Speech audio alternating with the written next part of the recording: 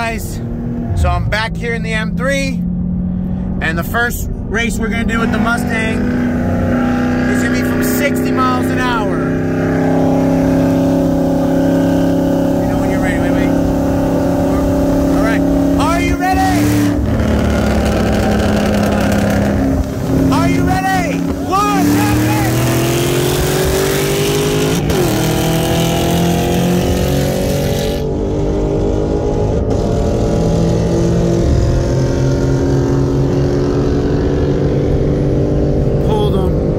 after he jumped.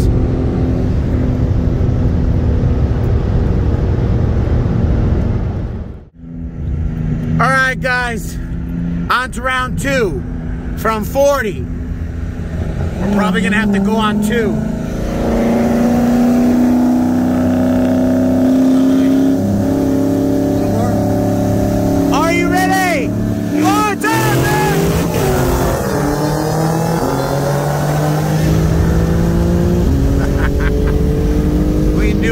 gotta go on too.